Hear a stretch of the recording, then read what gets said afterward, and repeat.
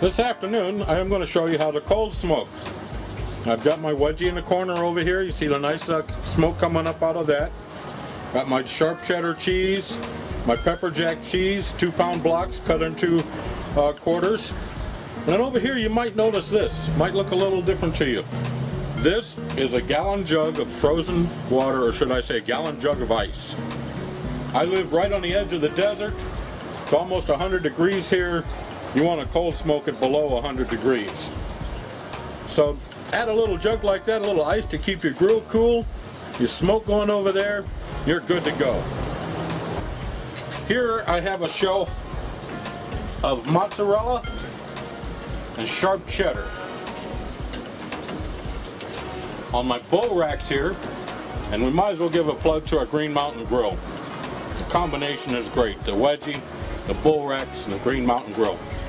I use these things, I'm doing my best to wear it out before I die. Going to top it off with a little Mexican string cheese. Should be a real treat. Put it all in there, let the wedgie do its thing, let everything go for about an hour, hour and a half. All right, this is my 30 minute check. Looking good. The ice jug's keeping everything cool. I'm 100 degrees in here. Not too bad considering outside here it's a little over 100. You can see the wedgie's doing a nice job with the smoke. Going to be very happy with this one. We're an hour into our smoke here now. My grill temperature's still at 100 degrees, which I think is pretty awesome, considering it's over 100 outside here. Let's open this up and see how we're doing. All that smoke is from the wedgie. Isn't that beautiful? Cheese is looking good. I'm gonna go a little longer. I want to see a little more smoke color to it.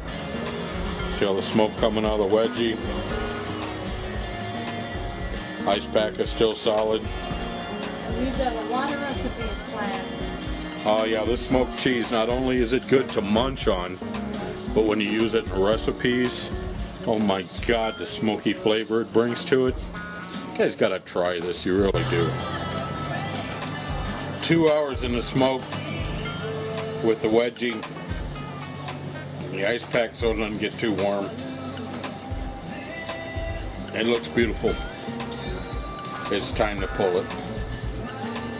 Something I want you guys to think about. You can smoke your cheeses and use different pellets and different flavors. And what Patti's done with some that I've smoked has made some awesome mac and cheeses and other recipes that she's used the cheese in. But think about a smoked mac and cheese off the hook.